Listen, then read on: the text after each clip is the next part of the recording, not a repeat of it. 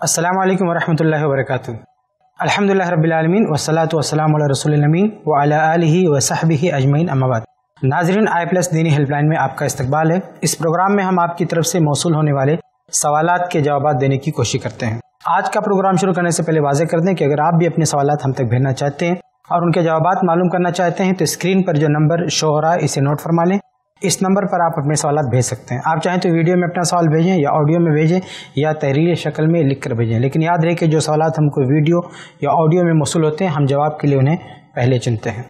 सवाल पूछते हुए ध्यान रखें कि आपका सवाल मुख्तसर हो, कम से कम अल्फाज पर मुश्तमिल हो। इसी तरह आपका सवाल बामकसद हो, उस पर अमल की ज़रूरत हो। इसी तरह आप सवाल पूछते हुए अपना नाम और पता भी बताने की कोशिश करें। इन चीज़ों का ख्याल करते हुए अगर आपके सवाल हम तक मौसू होंगे तो हमारी पूरी कोशिश होगी कि उनके जवाब हम आप तक पहुँचाएँ। और जिन भाइयों ने अपने सवाल भेजे हैं और काफ़ी ताखिर हो चुकी है, उनको जवाब नहीं मिला है तो दोबारा अपना सवाल भेज सकते हैं। हम कोशिश करेंगे कि उनके जवाब उन तक पहुँचाएँ। तो नाजरीन, आइए आज का प्रोग्राम शुरू करते हैं। आज हमारे पास सवाल की जो लिस्ट है, सबसे पहले वीडियो में कुछ सवाल हैं, पहले उन्हें देखते हैं। अस्सलाम वालेकुम रहमतुल्लाहि व बरकातहू सूद में लोन लेकर बनाया गया कोई मकान या उसका कोई हिस्सा अगर किसी को विरासत में मिले तो उसको लेना कैसा? और अगर उसको लेना जायज़ है, फिर भी कोई उसे अपनी मर्ज़ी से छोड़ दे, अपने भाई बहनों के लिए छोड़ दे, अपना हिस्सा ना ले तो ऐसा करना कैसा? ये एक भाई साहब है, इनका कहना ये है कि अगर किसी ने लोन लेकर, सूद पे पैसा लेकर मकान बनाया है, वो फौत हो गया तो उसके वारसिन तक वो मुंतकिल होगा तो वारसिन के लिए उसका लेना जायज़ है कि नहीं है? ये इनका सवाल है। तो देखिए, जिस शख्स ने भी ये काम किया है, ये काम गलत है। सूद पे पैसा नहीं लेना चाहिए, सूद पे मकान नहीं बनाना चाहिए। लेकिन अगर कोई आदमी सूद पे मकान लिया है तो इसका ये माना नहीं है कि टोटल पैसा हराम का था। सूद पे कर्ज लिया है, लोन लिया है मतलब ये कि उसने कुछ ज़्यादा अदायगी की है। यानी मकान की जो कीमत होती थी, उस पर सूद भी दिया है। तो ऐसा नहीं है कि पूरा मकान उसका हराम है, उसमें हलाल की रकम है, बल्कि ज़्यादातर हलाल की रकम है, और सूद की भी आमेजिश है, लेकिन सूद लेने की शक्ल नहीं है, बल्कि देने की शक्ल है। यानी सूद लेके उसमें ऐड नहीं किया, बल्कि किसी को दिया। लेकिन बहरहाल, ये काम सूद से जुड़ा हुआ और हराम है, नाजायज़ है। लेकिन ये जहन में रखें कि वो सारा माल सूद के पैसे का नहीं है। ऐसा नहीं है कि किसी को कर्ज दिया था और बदले में सूद लिया है और उसी का मकान बना दिया भाई से बिल्कुल नहीं है। बल्कि इसने किसी से कर्जा लिया है और उसको सूद अदा किया है। तो इसका जो मकान है, वो इसकी हलाल कमाई का है। सूद का जो हराम काम किया उसने किसी और के हवाले किया है। इसलिए ये काम, इसका अमल गरचे हराम था। लेकिन ये माल उसका है। उसका खुद का पैसा इसमें लगा हुआ है। उसने गलत तरीका इख्तियार किया, सूद से लिया। लेकिन बहरहाल इसमें उसका अपना पैसा भी लगा हुआ है। इसलिए हम ये नहीं कह सकते कि ये माल पूरा सूद का माल है और पूरा ये हराम है और इसको नहीं लेना चाहिए। इसलिए ये माल वारसीन तक मुंतकिल हो सकता। और ये जो भी मामला था, हराम काम था, ये बाप ने किया है और वो इस दुनिया से चला गया है। अब उसके साथ अल्लाह क्या मामला करे, उसका और अल्लाह का मामला है। लेकिन उसके मरने के बाद अब ये वारसीन को मुंतकिल होगा। वारसीन उसको ले सकते हैं, क्योंकि ये एक अलग शक्ल है, जहन में रखें, ये एक अलग शक्ल है। सूद की एक शक्ल दूसरी हो सकती है, उसमें मसला होगा। वो ये कि कोई आदमी, कोई किसी का बाप था, वो लोगों को सूद पे पैसे देता था। तो जब वो लोग कर्ज वापस करते थे तो साथ में सूद भी देते थे। तो ये मामला और ख़तरनाक है कि उसके पास जो रकम जमा है, वो सूद का, यानी किसी और की रकम है जो ले लिया है क्योंकि सूद से मिल्कियत साबित नहीं होती है। यानी कर्ज दिया, कर्ज पे नफ़ा लिया। तो अगर खालिश इस किस्म का माल होता, वो छोड़ के गया होता तो वहाँ पे बहुत बड़ा मसला था कि वारसिन उसको लेंगे कि नहीं। उसमें मुख्तलिफ़ अकवाल है के। उसमें एक ये भी है कि सूद से किसी की मिल्कियत साबित नहीं होती है, इसलिए इसको वापस करना पड़ेगा। यानी अगर मुमकिन है जिससे सूद लिया है अगर उसको वापस करना मुमकिन है तो वापस करेगा। और अगर मुमकिन नहीं है तो ये सारा माल जो है किसी मजबूर को दे देगा। इसमें भी उलमा के अलग अलग अखबार हैं। बाज़ कहते हैं, कोई गरीब है, लाचार उसको दे दे। बाज़ कहते हैं कि, नहीं मुसलमान को भी ना दे, बल्कि किसी गैर मुस्लिम को दे दे। और मुसलमान को देने की शक्ल ये हो सकती है कि वो मर रहा हो, उसकी जान जा रही हो, मसलन बीमार हो, और उसका ऑपरेशन की बात हो। अगर उसको नहीं देंगे तो मर जाएगा। और कोई मदद करने वाला नहीं है तो ऐसी मजबूरी की हालत में किसी मुसलमान को दे सकते हैं और ना किसी गैर मुस्लिम को दे नॉन मुस्लिम को दे। ये अलग अलग के अकवाल हैं। लेकिन ये सारी बातें तब होंगी जब किसी के पास सूद का पैसा जमा था और वो वारिसिन तक मुंतकिल हो रहा है। लेकिन आपने सवाल में जो बात की है, वो थोड़ी सी मुख्तलिफ़ है। उसमें किसी ने घर बनाया है, सूद पे पैसा लेके तो ऐसा नहीं है कि ये सारा जो माल था, पैसा था, ये किसी और का था और ये ले लिया है। ऐसा नहीं है। ये इसका अपना ही माल था, बस गलत तरीके से उसको बनाने में उसने एक गलत तरीका इख्तियार किया, सूद पे पैसा लिया। ये उसका तरीका गलत था, लेकिन ये उसका माल था, इसलिए ये वारिसिन को मुंतकिल होगा और वारिसिन इसको ले सकते हैं। लेकिन जैसा कि आपने कहा कि अगर कोई चाहता है कि हम इसको ना लें भाई बहन को दे दें तो अच्छी बात है। कोई इस तरह का तकवा दिखाना चाहता है, कोई ये अजीमत दिखाना चाहता है कि ये तो लोन के पैसे से बना हुआ था, हम इसको नहीं लेना चाहते। तो मत ले, उसकी मर्ज़ी है, मत ले, कोई मसला नहीं। दे दे, भाई को दे दे, बहन को दे दे, किसी गरीब को दे दे, किसी बेसहारा को दे दे, कोई मसला नहीं है। ज़बरदस्ती नहीं, बल्कि सूद का माल ना होता, या आप जहन में रखें, अगर सूद का माल ना भी होता, खालिश हलाल का माल होता, और वारिसिन को आ रहा है, और कोई वारिस जिसको अल्लाह ने बहुत दिया है, बहुत पैसे हैं, अब जो विरासत में आ रहा है, चार पाँच लाख रुपया मान लीजिए आ रहा है और इसके पास करोड़ों पैसे हैं, अरबों पैसे हैं। तो वो सोचे कि क्या ज़रूरत है मुझे लेने की, मैं दे देता हूँ जो दूसरे भाई बहन है जिनके पास इतना पैसा नहीं है। तो ये बहुत अच्छी बात है, दे सकता है। तो जहाँ तक आप दूसरा जो सवाल कर रहे हैं कि दे सकता है कि नहीं तो इसमें तो कोई मसला ही नहीं है। वो दे सकता है, विरासत में एक बाब होता है इस सिलसिले में तखारुज का, कि किसी शर्त पे कोई वारिस जो है निकल जाए, यानी थोड़ा बहुत लेके और तरीके से वो दसबरदार हो जाए, निकल जाए। या तनाजुल और भी कई शक्लें होती हैं कि आदमी पूरा भी छोड़ सकता है। तो अगर कोई नहीं लेना चाहता है तो चाहे वो माल हलाल हो, चाहे जैसा भी हो, नहीं लेना चाहता है तो कोई मसला नहीं है, वो ना ले। तो ये जवाब है आपके सवाल का। उम्मीद है कि बात आपके लिए वाजह होगी होगी। आगे बढ़ते हैं, अगला सवाल देखते हैं। अस्सलाम वालेकुम मेरा नाम मोहम्मद यूनुस है। मैं सऊदी अरब में काम करता हूँ और यूपी का रहने वाला हूँ। मेरा सवाल ये है कि जुमा का नमाज़ पढ़ने के बाद तुरंत अकामत करके सेम इमाम, सेम जमात के साथ फिर से जुहर का नमाज़ पढ़ा जा सकता है। क्या ये कहाँ तक के सही है? जिस तरीके से पूरी दुनिया में जुमा का नमाज़ अदा होता था, उसी तरीके से हमारे गाँव में भी जुमा का नमाज़ होता था। मगर कुछ सालों से एक मौली साहब ने आके थोड़ा सा तब्दीली कर दिया है कि जुमा का नमाज़ पढ़ने के बाद तुरंत अकामत करके फिर से जोहर का नमाज़ पढ़ने का उन्होंने इजाज़त दिया है। इसी तरीके से हमारे गाँव में अभी नमाज़ हो रहा है तो ये कहाँ तक के सही है? इसका जवाब मुझे कुरान और हदीस के रोशनी में चाहिए। इनशाला हमें उम्मीद है कि आप हमारे सवालों का जवाब ज़रूर देंगे। ये हमारे एक भाई साहब हैं, मोहम्मद यूनुस, सऊदी अरब से सवाल कर रहे हैं। इनका पूछना ये है कि इनके गाँव में जुमा की नमाज़ पहले हो रही थी, जैसे हर जगह होती है।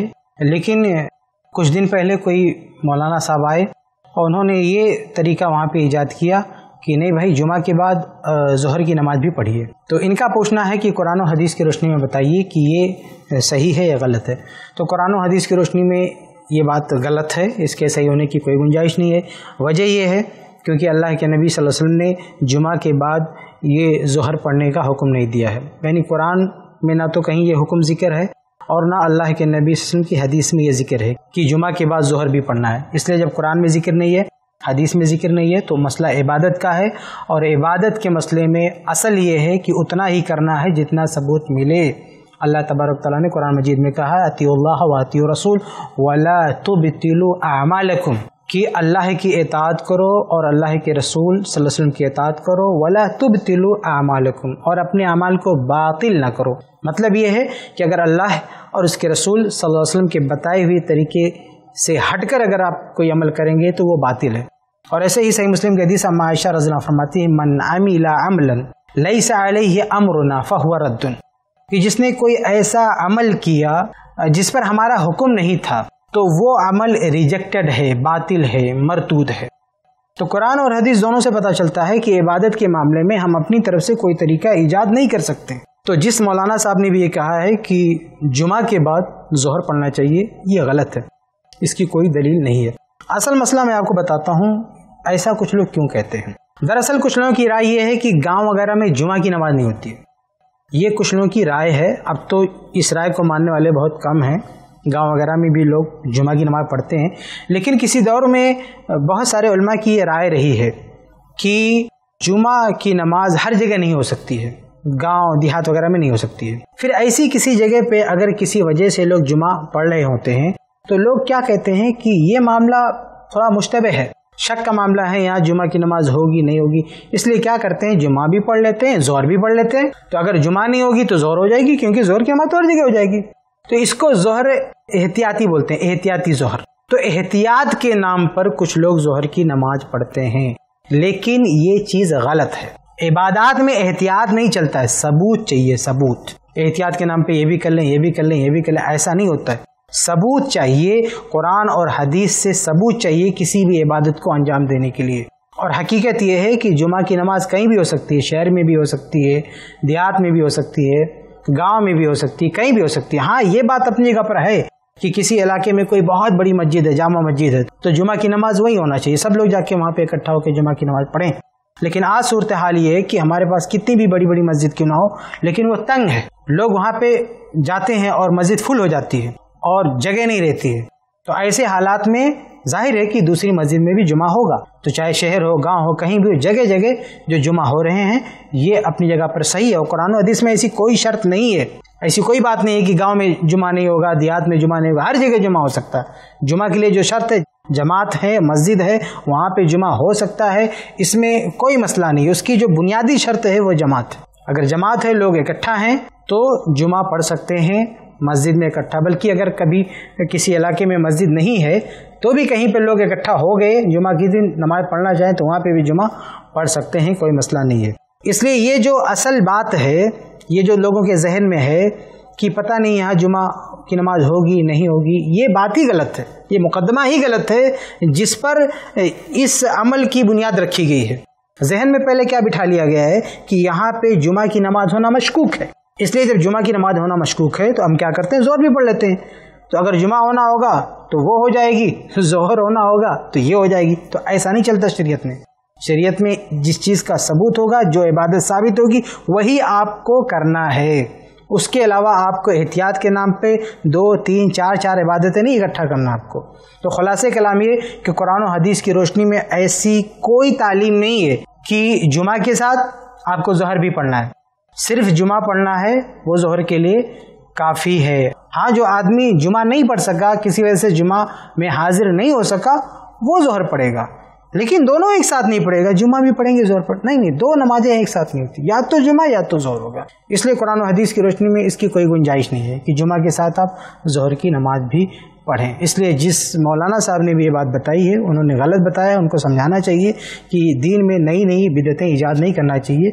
कुरान और हदीस से जो चीज़ साबित है, जो अमल साबित है उसी पे अमल करना चाहिए और उसी पर अमल करने के लिए लोगों को बुलाना चाहिए। अपनी तरफ़ से नए नए तरीके ईजाद नहीं करना चाहिए। उम्मीद है कि आपको जवाब मिल गया होगा। नाजरीन, ये कुछ सवाल थे वीडियो की शक्ल में। अब हमारे पास कुछ सवाल हैं ऑडियो में। उन्हें भी देखते हैं। देखते हैं अगला सवाल। अस्सलाम वालेकुम वरहमतुल्लाहि सिर्फ़ मेरा सवाल ये था कि क्या कर्ज लेके कुर्बानी कर सकते हैं क्या? और अगर एक और सवाल है कि अगर पहले से मेरे ऊपर कर्ज है, मैंने किसी से कर्ज ले रखे हैं तो क्या कुर्बानी करना दुरुस्त है क्या? कर सकते हैं क्या? ये हमारे एक भाई साहब इनका पूछना है, क्या कर्ज लेके कुर्बानी कर सकते हैं? जी, बिल्कुल कर सकते हैं। जैसे आप हर काम अपना कर लेते हैं कर्ज लेके तो ऐसे कुर्बानी भी बर वक्त आपके पास पैसे नहीं है और आपको अंदाज़ा है कि बाद में आप इसको चुका देंगे तो आप कर्ज ले सकते हैं। अलबत्ता ये जहन में रहे कि जिसके पास हैसियत नहीं है पैसा नहीं है तो वो कुर्बानी ना करे तो उसके लिए गुंजाइश। कुर्बानी में अहल का ये भी इख्तलाफ है कि वाजिब है कि नहीं है। तो अक्सर अहल कहते हैं कि ये सुनत मौकदा है, लेकिन बाज़ अहल इल्म कहते हैं कि ये वाजिब है। शेख अलबानी रमला भी इसको वाजिब मानते, ज़रूरी मानते हैं। लेकिन जो हजरात भी कहते हैं कि कुर्बानी करना वाजिब है, ये साहिब इस्तात के लिए। जैसे हज का मसला है, जिसके पास इस्तात है, उसके लिए हज फ़र्ज़ है, और जिसके पास ताकत नहीं है, उसके लिए हज नहीं है। तो ऐसे ही कुर्बानी का मसला है। सुनान माजा में एक रिवायत भी है, अबू हुरैरा रजील्ला से। उसे बाद मुहदसी ने मरफोन सही कहा है, बाद में मौकूफ़न सही कहा। उसमें है कि अगर किसी के पास इस्तात है और वो कुर्बानी नहीं करता, फला या करबन न मसलाना तो हमारी ईदगाह के करीब ना जाए। तो ये हदीस और जैसी कुछ और भी अहादीस हैं जिनमें कुर्बानी का हुक्म है। उन हदीस को सामने रखते हुए शेख अलबानी रमला और बाज़ ने कहा है कि कुर्बानी करना वाजिब है। तो ये उसके लिए वाजिब है जो इसकी इस्तात रखता है। और जो इसकी इस्तात नहीं रखता है, जिसके पास पैसे नहीं है, वो अगर कुर्बानी नहीं करता है तो कोई हरज की बात नहीं है। लेकिन पैसे नहीं इसका क्या मतलब है? ये भी समझना ज़रूरी है। आज हमारे पास हर काम के लिए पैसे होते हैं, बल्कि फजूल चीज़ों के लिए भी पैसे होते हैं। शादी ब्याह में खर्चा करने के लिए बहुत सारे पैसे होते हैं। हर काम के लिए पैसे होते हैं, लेकिन कोई इबादत का मसला पड़ जाता है तो हमारे पास पैसे नहीं है, हम कर्ज हैं, ये। तो इनकी बात नहीं हो रही है। जो बहाना करते हैं। देखिए, कर्ज का जो मामला है, हर आदमी कुछ ना कुछ कर्ज होता है। बल्कि जो कारोबारी होते हैं, वो भी दूसरों से कर्ज लेते हैं, दूसरों को कर्ज देते हैं। तो देखना ये चाहिए कि असल हमारी हैसियत क्या है। बर वक्त गर्चे हमने किसी से कर्ज ले रखा है, लेकिन हमारी असल हैसियत क्या है? अगर वाकई हम इस हैसियत में हैं और इतनी ताकत रखते हैं कि कुर्बानी किसी से पैसा लेके कर लेंगे, कोई फ़र्क नहीं पड़ेगा, बाद में अदा कर सकते हैं। बर वक्त इतफाक से पैसा नहीं है। लेकिन हम इतनी ताकत रखते हैं कि बाद में इसको अदा कर सकते हैं। तो आदमी को करना चाहिए, नेकी का काम है, जैसे हर काम कर लेके करता है, ऐसे कुर्बानी भी उसको कर्ज लेके करना चाहिए। तो अगर आदमी कर्ज में है, लेकिन वक्ती तौर पर, इत्तेफाकन तो उसे कुर्बानी करना चाहिए। अगर उसे पूरा यकीन है कि बाद में मैं रिकवर कर लूँगा तो कुर्बानी करना चाहिए।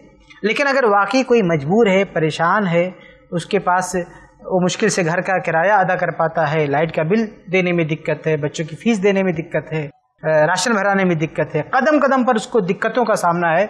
तो गरीब आदमी है, वो कुर्बानी ना करे और दूसरे लोग जो कुर्बानी कर रहे हैं, उनके लिए ये ज़रूरी होगा कि उस आदमी के घर गोश्त पहुंचाएँ और उस पर सदका करें ताकि वो भी इस खुशी में शामिल है तो खुलासा ये है कि कर्ज लेके आप कुर्बानी कर सकते हैं। अगर आप ठीक ठाक पोजीशन में हैं तो।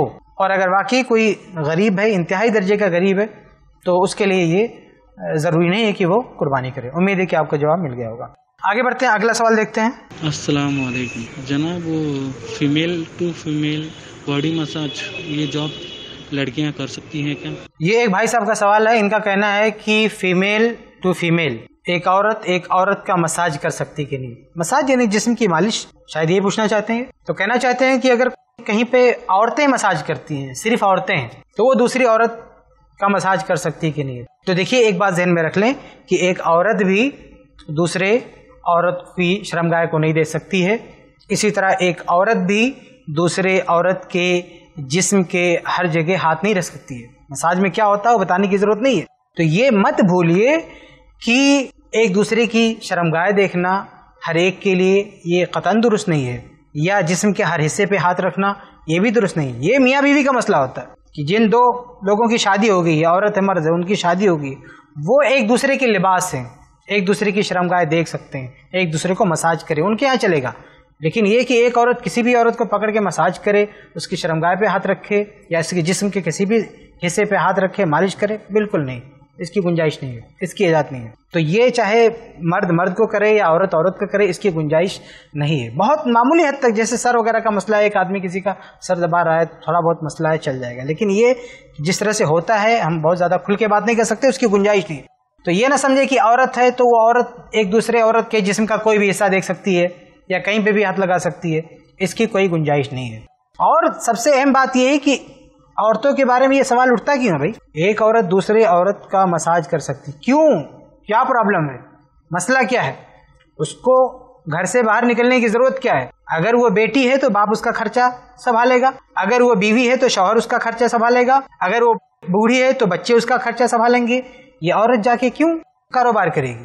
तो इस्लाम ने औरत का ये काम नहीं दिया है कि वो घर चलाने के लिए कारोबार करे। चलो, कोई औरत मजबूर हो गई, आगे पीछे कोई नहीं है, समाज उसकी नहीं मदद करा। हालाँकि कोई औरत अगर अकेली हो, उसके सर से बाप का साया उठ गया, शौहर भी फौत हो गया, बच्चे भी नहीं तो बैतुलमाल की ज़िम्मेदारी जमात की, जमीयत की और पूरे मुसलमान कौम की ज़िम्मेदारी है कि उसका खर्चा उठाएँ और उसे जाके नौकरी ना करना पड़े। ये पूरे मुस्लिम कौम की ज़िम्मेदारी है। हकीकत में इस्लाम ने कहीं भी औरत को ये ज़िम्मेदारी नहीं दी कि जाके पैसे कमाए। बिल्कुल नहीं। इसलिए ये जो सवाल उठते हैं, क्यों उठते हैं? एक औरत क्यों जाके काम करेगी? उसका सबसे बड़ा काम ये है कि घर पे रहे, शौहर की खिदमत करे, बच्चों की तरबियत करे। ये उसका काम है। उसको मसाज करने का शौक है तो अपने शौहर का मसाज करे। कौन उसको मना कर रहा है? लेकिन ये कि जाके बाहर दूसरी औरतों का मसाज करे, उसके लिए कारोबार करे, ये दुरुस्त नहीं है। बहुत ही मजबूरी की सूरत में किसी औरत को ये इजाज़त दी जा सकती है कि वो बाहर, घर से बाहर निकल कर काम करे, जब उसके आगे पीछे कोई ना हो, ना उसका बाप हो, ना उसका शौहर हो, ना उसके बच्चे हों, और समाज भी उसकी सरपरस्ती नहीं कर रहा हो तो यहाँ पे उसको गुंजाइश दी जा सकती है, वो भी जायज़ और हलाल कामों के लिए, इन सब कामों के लिए नहीं। इसलिए हर औरत को अपना दायरे कार समझना चाहिए, कोई मुसलमान औरत है तो उसको ये समझना चाहिए कि मेरी ज़िम्मेदारी क्या है।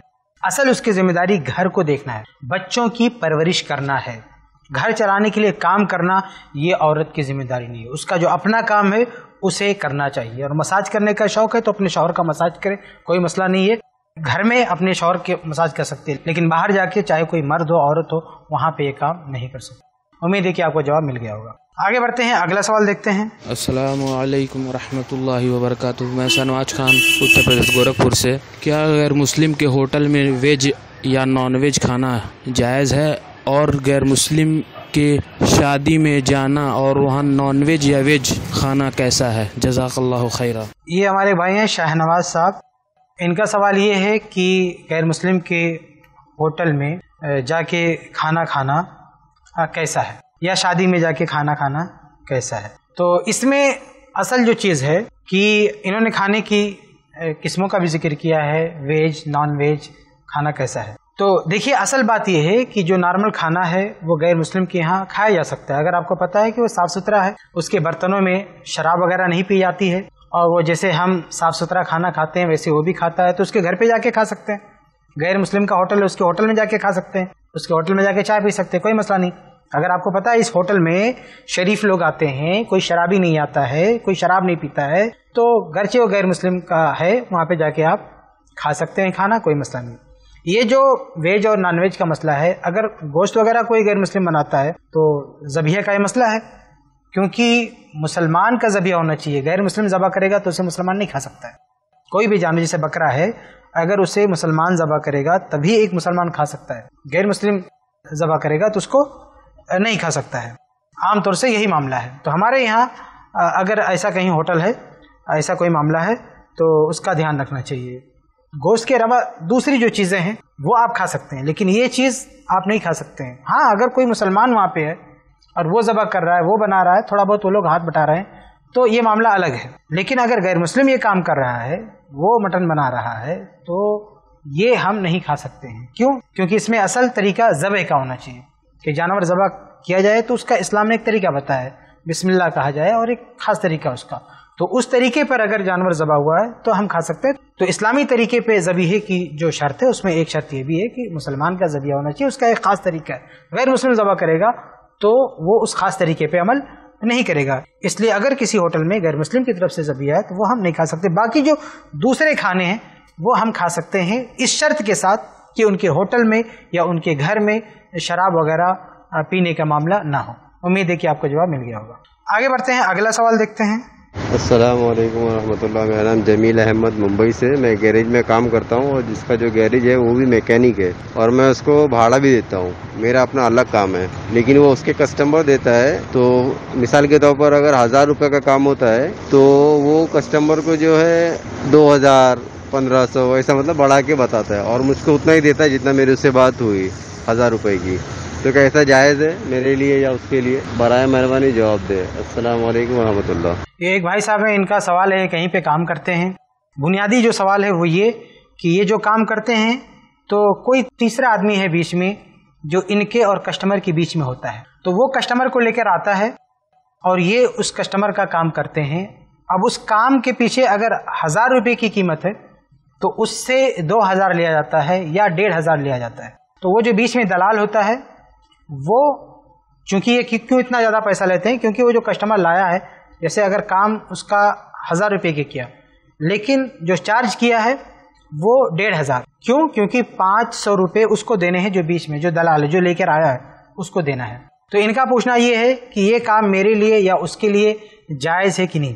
तो देखिए, यहाँ पे दो शक्ल हो सकती है। एक ये कि आप कोई काम कर रहे हैं और आपको बैठे बैठाए कस्टमर नहीं मिल रहे हैं। अब एक आदमी दौड़ धूप करके, अपना वक्त इस्तेमाल करके कुछ लोगों को आगाह करता है, उनके इलम में लाता है कि उनका काम यहाँ से हो सकता है और उनको वहाँ से पकड़ के लाता है आपके सामने। तो वो अपनी मेहनत का हक ले सकता है, यानी जितना वक्त लगाया है, वो ले सकता है। इसमें कोई हरज की बात नहीं। लेकिन वो जो फ़ायदा कर रहा है, उसका भी फ़ायदा कर रहा है, आपका भी फ़ायदा कर रहा है। इसलिए इसको मेहनत का सारा बोझ उसी पे नहीं लाद देना चाहिए, बल्कि इसको हर शख्स से उतना ही लेना चाहिए जितना उसका फ़ायदा कर रहा है। तो अगर कोई आदमी मेहनत कर रहा है, अपना वक्त लगा रहा है, और उस वक्त के नतीजे में किसी को फ़ायदा हो रहा है तो जो मेहनत है, जो उसकी सर्विस है, इस पे वो पैसा ले सकता है, कोई हर्ज की बात नहीं। लेकिन ये मामला बिल्कुल क्लियर होना चाहिए, खुला होना चाहिए। धोखा, फ्रॉड, फरेब नहीं होना चाहिए। इसको बाकायदा शो कीजिए। बाकायदा बताइए, ऐसा नहीं कि आपने एक काम कर दिया और चुपके से कुछ और वसूल लिया उसके लिए। बाकायदा इसको ओपन कीजिए, साफ़ कीजिए वाजे कीजिए। आपका जो काम किया गया है, उसकी ये कीमत है और इस काम के पीछे फला साहब की भी मेहनत है, उनकी भी ये कीमत है। इसको वाजे करके ये काम कीजिए तो इंशाल्लाह इसमें कोई मसला नहीं है। ये एक शक्ल है। दूसरी शक्ल दलाली की ऐसी है जो बिला वजह दलाली। यानी हकीकत में ज़रूरत नहीं है दलालों की। एक आदमी काम कर रहा है और सामने कस्टमर की एक लंबी फहरिस्त है, उनको पता भी है, वो यहाँ तक पहुँच सकते हैं दुकान तक। लेकिन बिला वजह कुछ लोग बीच में रुकावट पैदा करते हैं। वहाँ दलाली की कोई ज़रूरत नहीं है, लेकिन फिर भी वहाँ पे घुस जाएँगे लोग दलाली करने के लिए। तो वो सामने वाले का भी नुकसान करते हैं, इसका दोनों का नुकसान करते हैं। और ये काम गलत है, क्योंकि यहाँ कोई ज़रूरत नहीं है। यहाँ सिर्फ़ आप अपना पेट पालने के लिए बिला वजह दूसरों का नुकसान कर रहे हैं। आपको पैसा कमाना है तो दुनिया में बहुत सारे काम करने के तरीके हैं। लेकिन ये कि ज़बरदस्ती कहीं पे घुस जाना, मिसाल के तौर पर देखें मुंबई में बहुत सारी जो इलाके हैं, झोपड़पट्टी के, उसमें मामला ये होता है कि जिनके पास मकान है, किराए का, किराए पे देना, वो किसी को देना चाहते हैं और उनको चाहिए किराएदार। तो ऐसी बहुत सारी जगहें हैं जहाँ मकान खाली है और किराए पे लेने वालों की एक लंबी तादाद है, वो खुद ढूंढ रहे होते हैं। लेकिन बराह रास्त इनको मालिक मकान से नहीं मिलने दिया जाता है। बीच में कुछ दलाल किस्म के लोग होते हैं। और ये लोग उससे भी वसूलते हैं, इससे भी वसूलते हैं, बिला वजह। चलो, ये शक्ल भी जायज़ हो सकती है, अगर वाकई कहीं पे ऐसा मामला है, यानी कहीं पे किसी का मकान खाली है, किसी के इल्म में नहीं है। और एक आदमी ऐसे लोगों को लेकर आता है तो चलो, कुछ अपना मेहनताना ले लो, कोई मसला नहीं। लेकिन ऐसी जगहों पे जहाँ बिल्कुल मामला ओपन है, क्लियर है कि चलो भाई, इसका घर खाली कोई लेना चाहता है। बिला वजह दलाल बीच में घुस के और अच्छा खासा पैसा कमाए और दोनों का नुकसान कराए, ये दुरुस्त नहीं। यहाँ पर एक चीज़ ये भी होती है कि जो दलाल लोग हैं, ये मालिक मकान से जाके क्या कहते हैं, एक आदमी रह रहा था बेचारा दो साल से। तो उसे कहते हैं कि कितना किराया दे रहा है? कहते हैं, दस हज़ार। बोले, इसको खाली कराओ। मैं आपको तेरह हज़ार में लाके देता हूँ, बड़ो। तेरह हज़ार में किराएदार ला देता हूँ। तो वो किसी को पकड़ के लाते हैं और तेरह हज़ार में वो घर दिला देते हैं। और उसके बाद कहते हैं कि हर महीने दो हज़ार मेरा, यानी आपको दस हज़ार मिल रहा था, मैं आपको एक हज़ार और दिला रहा हूँ, ग्यारह हज़ार दे रहा हूँ। लेकिन ये बंदा आपको तेरह हज़ार किराया देगा, ये दो हज़ार मुझे देना ये क्या है भाई? ये क्यों बिला वजह नुकसान करें इसमें आप देखिए कितनी बड़ी खराबी है। एक तो बिला वजह पैसा ले रहा है, हर महीने वो बेचारा किराया दे रहा मालिक मकान को। ये ऐठ रहा है बिला वजह। चलो थोड़ा बहुत मेहनत किया था शुरू में उसका ले लेता, अलग बात है। लेकिन ये पूरा साल हर महीने ले रहा है। ये बहुत बड़ा जुल्म है जो बेचारे किराएदार पर हो रहा है और उसको बिला वजह पैसा देना पड़ता है।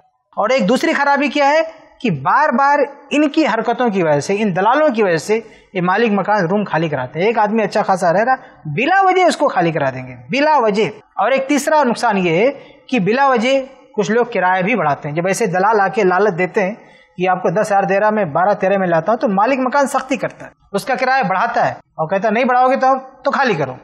तो हर, ये बहुत सारी परेशानी होती है। तो इस किस्म के अगर दलाल हैं, आपके, आपने जो सवाल किया अगर वहाँ पे जो बीच में जो लोग आ रहे हैं, आपके और कस्टमर के बीच में जो रबता करवा रहे हैं, अगर वो इस तरह का कोई काम कर रहे हैं, नाजायज काम कर रहे हैं, बिला वजह वो बीच में आके वास्ता बन रहे हैं, उनकी कोई ज़रूरत नहीं है और अपनी मेहनत से ज़्यादा ले रहे हैं तो ऐसे दलालों को बीच से हटा देना चाहिए। आप डायरेक्ट कस्टमर से रबता करें, उनके लिए दरवाज़ा खोलें डायरेक्ट उनके साथ मामला करें, इनको बीच से हटा दें। तो इस तफसील के साथ आप अपना मामला समझ सकते हैं। उम्मीद है कि आपको जवाब मिल गया होगा। नाजरीन, आगे बढ़ने से पहले हम आपके सामने फिर एक बार वाजे करते हैं कि अगर आप भी अपने सवाल हम तक भेजना चाहते हैं तो स्क्रीन पर जो नंबर शो हो रहा है, इसे नोट फरमा लें। इस नंबर पर आप अपने सवाल भेज सकते हैं। आप चाहें तो वीडियो में अपना सवाल भेजें या ऑडियो में या तहरीरी शक्ल में लिख कर लेकिन याद रहे कि जो सवाल हमको वीडियो और ऑडियो में मौसू होते हैं, हम जवाब के लिए उन्हें पहले चुनते हैं। इसलिए कोशिश ये हो कि आपका सवाल वीडियो या ऑडियो में ही आए। सवाल पूछते हुए ध्यान रखें कि आपका सवाल बहुत ही मुख्तसर हो, कम से कम अल्फाज में हो। इसी तरह आप वो सवाल करें जिसके जवाब की ज़रूरत हो आपको या किसी और को। इसी तरह सवाल पूछते हुए अपना नाम और पता भी बताने की कोशिश करें। इन चीज़ों का ख्याल करते हुए अगर आपके सवाल हम तक पहुँचेंगे तो हमारी पूरी कोशिश होगी कि उनके जवाब आप तक पहुँचाएँ। अगर आपने बहुत पहले सवाल किया था, जवाब अब भी नहीं मिला है तो आप दोबारा अपने सवाल भेज सकते हैं। तो नाजरन, आगे बढ़ते हैं और कुछ और सवाल हैं, उनको देखते हैं। देखते हैं अगला सवाल। अस्सलाम वालेकुम वरहमतुल्लाहि वबरकातुहू। मैं जामा मस्जिद, दिल्ली जामा मस्जिद इलाके से बोल रहा हूँ, सैयद नजरुल इस्लाम। मेरा कहना ये है, जब भी किसी जलसा में या तो तकरीर करने के लिए किसी आलिम को बुलाया जाता है तो वो आलिम अपने डिमांड रखते हैं, बीस हज़ार, तीस हज़ार, चालीस हज़ार तकरीर करने के तो ये कहाँ तक जायज़ है या नाजायज़ है? थोड़ा मेहरबानी करके रहनुमाई फरमाइए। अस्सलाम वालेकुम वरहमतुल्लाहि ये हमारे एक भाई साहब हैं, गालिबन दहली जामा मस्जिद से। या वहीं आसपास में रहते हैं। वो ये पूछ रहे हैं कि जब किसी आलिम को तकरीर करने के लिए बुलाया जाता है तो कोई बीस हज़ार माँगता है, कोई तीस हज़ार माँगता है, कोई चालीस हज़ार माँगता है तो क्या इनका ये मांगना सही है? इनको देना चाहिए कि नहीं देना चाहिए? तो देखे मेरे भाई, यहाँ पे एक चीज़ जो बहुत सारे लोग समझ नहीं पाते हैं, उसको समझना चाहिए, वो ये कि खुद दीन का काम करना। और एक होता है दीन का काम किसी से करवाना। इन दो चीज़ों में फ़र्क करना बहुत ज़रूरी है। अगर आप इन दोनों में फ़र्क नहीं करेंगे तो ऐसे ही सवाल आपके जहन में आएँगे, खुद परेशान होंगे और दूसरों को परेशान करेंगे। तो दिन का काम खुद करना, जैसे अल्हम्दुलिल्लाह आपने सवाल किया है, आप दिन का काम कर सकते हैं, बहुत सारा काम कर सकते हैं। मिसाल के तौर पर आप कुरान के नुस्खे खरीद के मस्जिद में रखवाइए, आप हदीस के नुस्खे खरीद कर मस्जिद में रखवाइए, मस्जिद बनवाइए, मदरसा बनवाइए, मदरसे में जो तलबा पढ़ते हैं, जाके उनकी सरपरस्ती कीजिए, उनके पीछे जो खर्च है वो जाके अदा कीजिए आप कीजिए, कौन आपको रोक रहा है? बहुत अच्छा काम है ये सब, आप करेंगे तो गोया कि आप दीन का काम कर रहे हैं। इसी तरह से बहुत सारे जितने भी दीन का काम है, आप करें, एक रुपया न ले किसी से, बल्कि खुद अपनी तिजोरी खोल दें, आपको कौन मना कर रहा है? तो आपको अगर दीन का काम करने का शौक है तो पूरी ज़िंदगी आप अपनी वक्फ कर दीजिए दीन के काम में। आपको कोई नहीं रोक रहा है। आप सुबह से शाम तक लगे रहे दीन का काम लगे अगर आप आलिम हैं तो आप तकरीर करें जा जाके लोगों के घरों में, मस्जिदों में, जहाँ भी मौका मिले। आप लोगों से पूछें कि हम तकरीर करना चाहते हैं, कुछ बातें बताना चाहते हैं। लोग इजाज़त दें तो आप जाइए, एक पैसे मत लीजिए। कोई आपको मना नहीं करेगा। ये एक चीज़ है। लेकिन एक दूसरी चीज़ क्या है कि दीन के काम का शौक पालना और खुद कुछ नहीं करना, किसी और से करवाना, ये दूसरी चीज़ है मेरे भाई। अब अगर आप दीन का काम खुद नहीं कर रहे हैं किसी और से करवा रहे हैं। तो इसको आज की जबान में क्या कहते हैं कि किसी को हायर करना, जैसे आपको तकरीर करना नहीं आता। अभी आप क्या कर रहे हैं? किसी आलिम साहब को बुला रहे हैं। तो अब आप किसी को हायर कर रहे हैं, किसी और से करवा रहे हैं। तो जब आप दीन का काम किसी और से करवाएँगे, आप दिन का काम कीजिए। मैंने पहली शक्ल बताई, खुल के काम कीजिए, सुबह शाम काम कीजिए, पूरी तिजोरी आप खत्म कर दीजिए दिन के काम में। कोई मना नहीं करता। ये अलग चीज़ है, लेकिन ये कि दीन का काम करेंगे, बहुत शौक है, लेकिन खुद नहीं, किसी और से करवाएँगे। तो जब आपको किसी और से दीन का काम करवाना है तो वो और आदमी जिसको आप हायर कर रहे हैं, वो अपनी हैसियत के हिसाब से, अपनी ज़रूरत के हिसाब से, अपने स्टेटस के हिसाब से, दस, बीस नहीं, अगर लाख, दो लाख भी माँगता है तो कुछ गलत नहीं करता है। हर आदमी का अपना एक स्टेटस होता है। अपनी एक मेहनत होती है, उसके वक्त की अपनी एक कीमत होती है। मिसाल के तौर पर कोई आलिम है, हाई प्रोफ़ाइल आलिम है। उसका बिज़नेस है, उसका कारोबार है, या उसकी ऐसी मसरूफियात है जिसमें वो मंथली तीन चार लाख रुपए कमाता है। अगर ऐसा कोई शख्स है जो इतने पैसे कमा रहा है, या ऐसे कीमती काम कर रहा है, जो इतने पैसों के मसावी हैं तो ज़ाहिर है कि उसका वक्त बहुत कीमती है। उस आलिम का वक्त बहुत कीमती है। जो महीने में पाँच छह लाख रुपए कमा रहा है, या पाँच छह लाख रुपए का काम कर रहा है, कोई तहकीकी काम कर रहा है, कोई इल्मी काम कर रहा है भले आपकी नज़र में उसके कामों की वैल्यू ज़ीरो लेकिन उसकी नज़र में उसकी वैल्यू करोड़ों है। उसको आप हायर करेंगे तो उसका जो लॉस हो रहा है, उस हिसाब से अगर दस, बीस नहीं, लाख रुपया भी आपसे तलब करता है, कुछ गलत नहीं करता है। तो ये दोनों चीज़ों को मिक्स मत करें आप। आप दीन का काम करें, शौक से। आप आलिम नहीं, आलिम बने। उलमा के साथ जाके बैठे, इल्म सीखे। चौबीस घंटा अपने आप को कर ले भाई, कौन आपको मना कर रहा है? लेकिन आप खुद नहीं करेंगे, दूसरों से करवाएँगे और फ्री में ये बदतरीन जुल्म है इस दौर का। ये इस दौर की बहुत ही बदतरीन सोच है कि हम दूसरों को मुफ़्त में बुलाएँगे और दिन का काम कराएँगे नहीं, आप किसी को बुला रहे हैं तो उसके स्टेटस के हिसाब से और उसकी हैसियत के हिसाब से और उसकी अपनी निगाह में उसके वक्त की जो कीमत है उसके हिसाब से आपको पैसा देना होगा। आप नहीं दे सकते हैं तो अपनी जबान बंद रखें। उस पर कीचड़ नहीं उछाल सकते। जैसे आप किसी दुकान में हैं, बहुत कपड़े कई तरह के मिलते हैं भाई। सस्ता, महँगा। अब आप महँगा कपड़ा पसंद कर लें और बोले कि नहीं, इतना नहीं दूँगा। वो आपको नहीं देगा तो आप क्या करें? चुपचाप घर पे बैठे। आप उस कपड़े वाले को गाली थोड़ी देंगे। तो ऐसे ही कोई आलिम जिसका वक्त बहुत कीमती है, उसकी निगाह में गर्चे आप नहीं समझ पाए।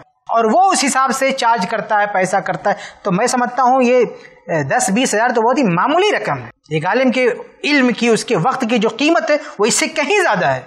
अगर वो लाख रुपए भी तलब करें तो कुछ गलत नहीं है। अगर वो लाख रुपए भी मांगे एक प्रोग्राम का तो कुछ भी गलत नहीं है। उनके कामों की, उनके वक्त की जो कीमत है, उस हिसाब से मैं बात कर रहा हूँ। हम उन उलमा की बात नहीं कर रहे हैं, जो नाम के आलिम है, जिनके पास कोई इल्म नहीं है, जिनके पास कोई मसरूफियत नहीं है, जिनके पास कोई ऐसा काम नहीं है, उनके वक्त की ऐसी कोई कीमत नहीं, हम उनकी बात नहीं करें लेकिन जो उलमा बाकायदा आलिम है, इल्म का काम कर रहे हैं, दीन का काम कर रहे हैं, और उनका वक्त बहुत कीमती है तो ऐसे उलमा को आप बुलाएँगे तो जहन में रखें कि जितना वो मांगते हैं, उतना आपको देना पड़ेगा। और ये बिल्कुल भी जुल्म नहीं है। और यहाँ पर एक चीज़ और भी मैं आपको वाजे कर दूँ कि हमारी कौम को सिर्फ़ यहीं पे पैसा नज़र आता है कि एक आलिम ने बीस हज़ार मांग लिया, तीस हज़ार मांग लिया, चालीस हज़ार मांग लिया, ये जुल्म हो गया। लेकिन दूसरी तरफ़ जो उलमा मस्जिदों में इमामत कराते हैं, जो उलमा मदरसों में पढ़ाते हैं, जो उलमा जामियात में अपनी ज़िंदगी बिता रहे हैं उनको पाँच हज़ार, आठ हज़ार, नौ हज़ार तनख्वाहें मिलती। वहाँ पे कोई सवाल करने नहीं आता कि मौलाना साहब ये बताइए कि फला आलिम एक मदरसे में पढ़ा रहा है, उसको पाँच ही हज़ार दे रहे हैं। क्या ये दुरुस्त है? उसको ज़्यादा देना चाहिए। कोई नहीं सवाल करता, कोई नहीं पूछता। वो मुदरस, मदारिस में, मकातिब में, जामियात में दीन इदारों में, मसाजिद में जो उलमा है, भूखों मर रहे हैं। इतनी मामूली और हकीर तनख्वाह है कि उनके घर के अखराज पूरे नहीं होते। लेकिन कौम में से कोई भी शख्स खड़ा होकर नहीं सवाल करता कि मौलाना मसला बताएँ कि क्या इन उलमा को इतनी कम तनख्वाह देना जायज़ है? क्या ऐसे ट्रस्टियों को जिम्मेदारान लेना और उनको उनके अहदे पर बाकी रखना जायज़ है? जो अपने अइम्मा और अपने उलमा की माकूल तनख्वाह का बंदोबस्त नहीं कर पाते हैं, क्या उन्हें जिम्मेदार रहना चाहिए, हट जाना चाहिए? ये सवाल नहीं करते। यानी लाखों उलमा परेशान है तनख्वाह को लेकर। वहाँ सवाल नहीं। और गिनती के सिर्फ़ तीन चार आलिम, अगर वो किसी प्रोग्राम के लिए डिमांड कर लें बीस हज़ार, तीस हज़ार तो ये कौम कहती है कि पैसा आ रहा है।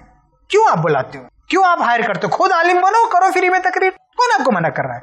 लेकिन आप किसी और को हायर करोगे तो ये तरीका गलत है। ये बिल्कुल ही गलत तरीका है कि आप ज़बरदस्ती किसी को हायर करें और कहें कि हम पैसा नहीं देंगे। आप दुनिया में किसी भी काम के लिए किसी को हायर करते हैं, क्या मुफ़्त में कोई आता है? आप एक डॉक्टर को हायर करते हैं, एक वकील को हायर करते हैं, इंजीनियर को हायर करते हैं, ये सब भी तो इल्मी चीज़ें हैं। डॉक्टर उसके पास भी एक इल्म है मेडिकल का, इंजीनियर उसके पास भी इल्म है, वकील उसके पास भी इल्म है। इन लोगों को आप हायर करते कितना चार्ज करते हैं लोग? और इन लोगों ने जो इल्म हासिल किया, डॉक्टर ने, इंजीनियर ने या वकील ने, जो इन लोगों ने इल्म हासिल किया है, जितना वक्त लगाया है, क्या आलिम ने उससे कम वक्त लगाया है? क्या आलिम ने उस इल्म के हसूल में कम कुर्बानियाँ दी है। तो ये लोग कितना भी आपसे एक वकील, डॉक्टर कितना भी पैसा ले ले, एक डॉक्टर ऑपरेशन का दो लाख लेगा, आपको कोई इतराज नहीं है। एक वकील आपका केस लड़ने के लिए लाखों लेगा, आपको कोई इतराज नहीं है। बेचारे आलिम ने दस, बीस हज़ार मांग लिया और आपको इतराज हो रहा है? क्यों भाई? तो मत हायर करो, आप खुद आलिम बनो, करो दिन का काम, कौन आपको मना कर रहा है? तो मेरे भाई, जब आप किसी को हायर करेंगे, किसी आलिम को, उसकी मर्ज़ी वो अपने हिसाब से डिमांड रख सकता है। उस पर कदगन नहीं लगा सकते, उसके बारे में जबान दराजी नहीं कर सकते। उसकी अपनी मर्ज़ी, उसके पास नहीं टाइम है। आप उसको हायर कर रहे हो और उसकी जरूरियात भी है। हो सकता है कोई आलिम ऐसा हो, जिसके पास कोई ज़रिए आमदनी ना हो, परेशान हो और कौम उसको नहीं देख रही है। अब उसको अगर मौका मिलेगा तो वो बीस तीस हज़ार मांग रहा है तो उसका यह हक उसको मांगना चाहिए।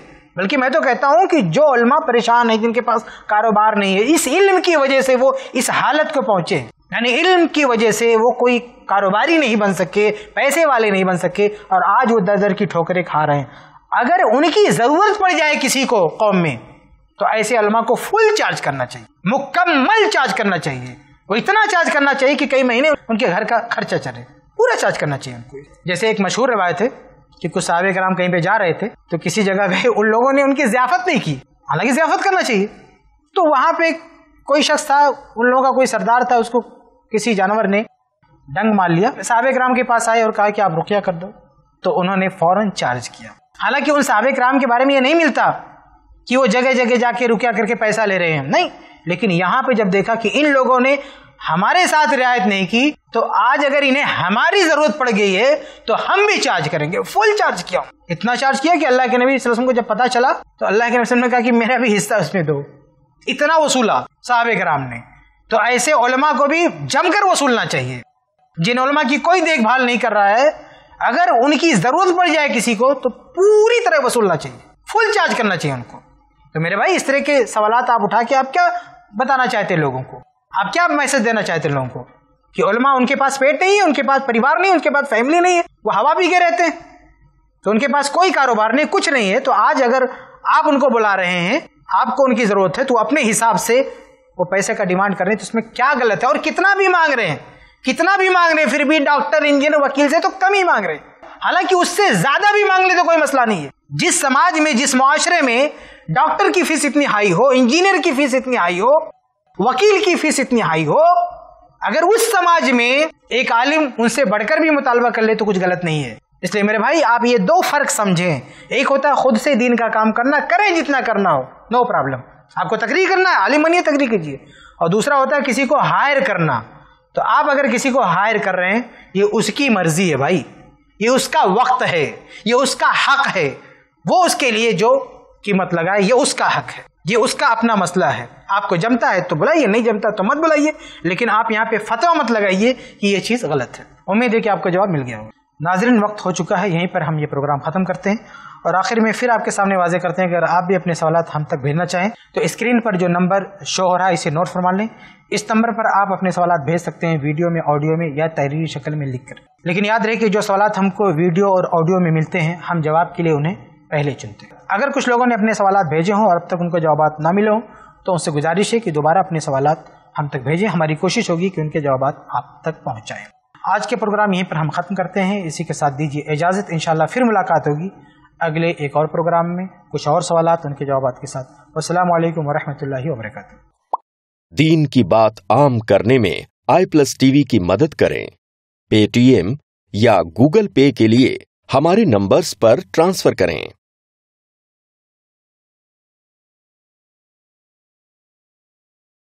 ऐसे ही और वीडियोस बनाने में हमारी मदद करें।